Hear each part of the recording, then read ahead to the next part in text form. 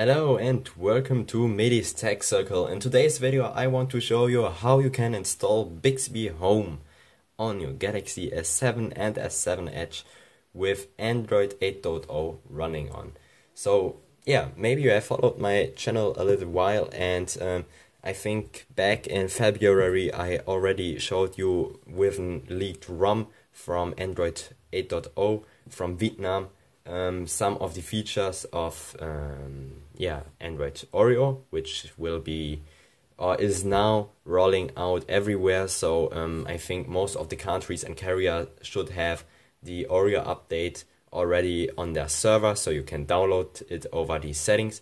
And um, I told you back then that Bixby Home is a feature in the Oreo update and maybe you have checked into in the official update after getting or receiving the official Upday um, and you see that um, you get update so this news feed or from um, Flipboard.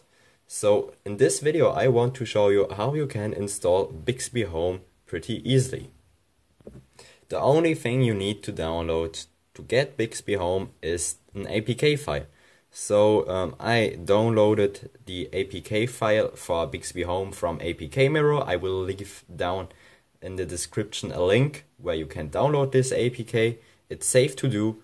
You have nothing, nothing to worry, worry about. So um, you just open the APK file, install it. So here it says, do you want to install an update? Because I already have it.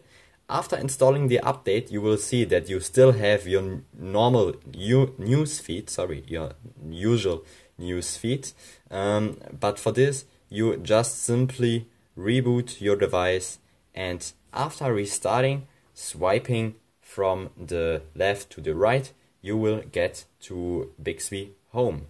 So Bixby Home gives you, um, or is something similar to the Google newsfeed, which you get in the Google app.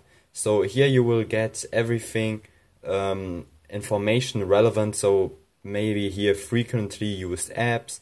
You can get a music player for the Samsung Music app or the Spotify app.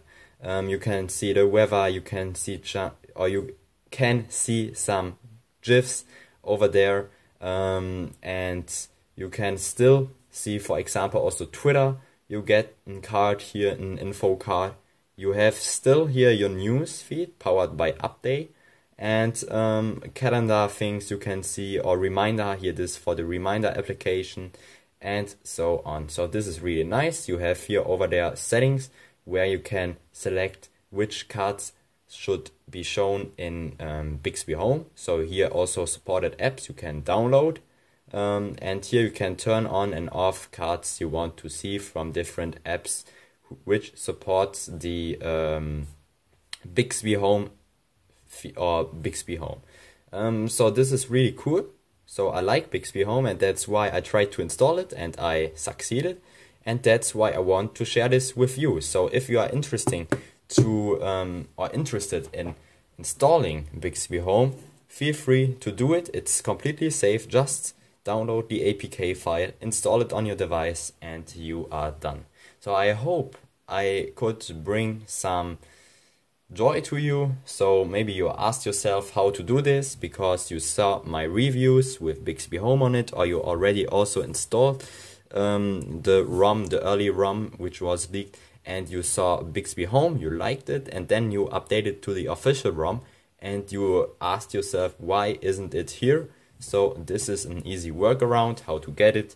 Um, feel free to share this with people where you might think they um, want also Bixby Home on their Galaxy S7 or S7 Edge with Android 8.0 Oreo running on. And if you like this video, feel free to subscribe to this channel that's free for you. You support me and I can bring you better content and also about new things. So I hope you have a great day and you will be back here on Mehdi's Tech Circle. Bye everyone.